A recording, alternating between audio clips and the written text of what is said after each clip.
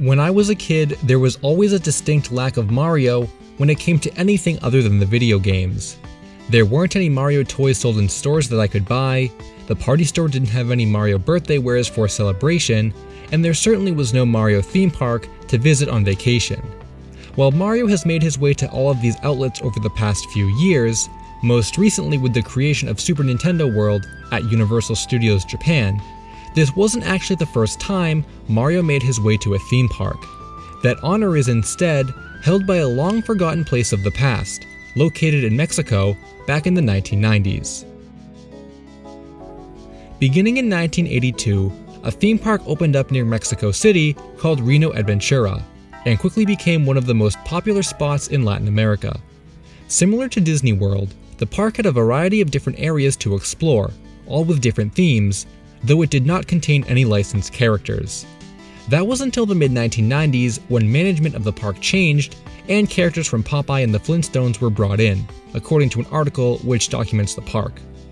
Interestingly, one of the licenses Reino Aventura brought in was Mario, though I'm sure from the likes of this picture, you'd assume it was a cheap, low effort attempt to cash in on what was popular at the time. However, that wasn't the case, as this was 100% officially licensed, and a portion of the park was completely transformed to bring the world of Mario 64 to life. Firstly, it should be explained that there were two components to this license, Casa de Mario and Peach's Castle. Peach's Castle, from what I could gather, seemed to be more of a tribute to Mario rather than an attraction itself. It was a place to play arcade games, though not directly related to Nintendo. In one of the photos, it looks like Peach can even be seen spotted high up in the balcony. Really a sight to behold, and that's just the beginning. The main attraction, officially titled Casa de Mario, or House of Mario, was a reskin over an already existing attraction called Casa de la Risa, or House of Laughter. You'd know you were in the right place upon seeing a giant Mario head painted on the side of the building, and this is where the fun really starts.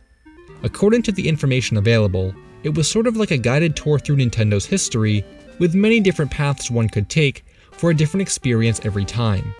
It begins in the foyer of Peach's castle, which is a stunningly accurate recreation of the game, complete with gold coins and a Bob-omb Buddy. These sets were one-to-one -one scale, so it really made you feel like you were inside Mario 64. I'm pretty jealous I never got to experience this.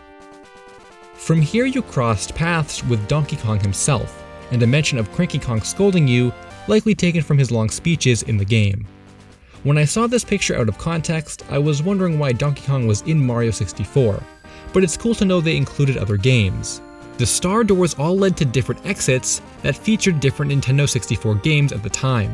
One photo exists of a Tetris exit, with Tetris blocks covering the walls and ceilings, while the other article mentioned a Donkey Kong room with bananas hanging from the ceiling.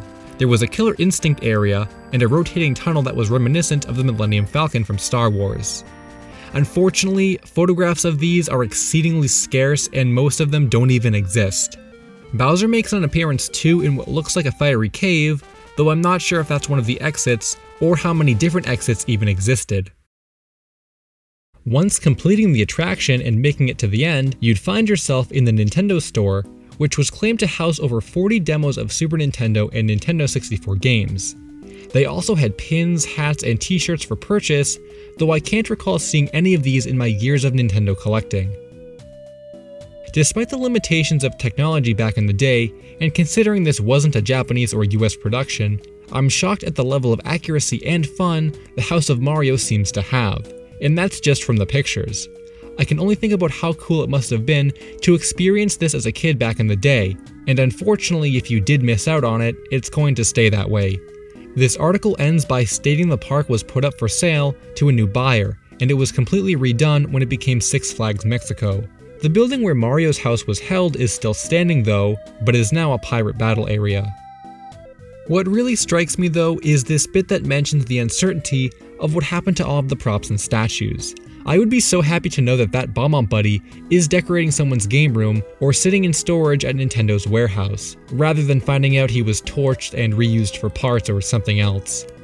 There are still a lot of mysteries surrounding this attraction, and I'm not sure if we're ever going to get answers, considering how badly it was lost to time. Hey guys, I hope you enjoyed the video.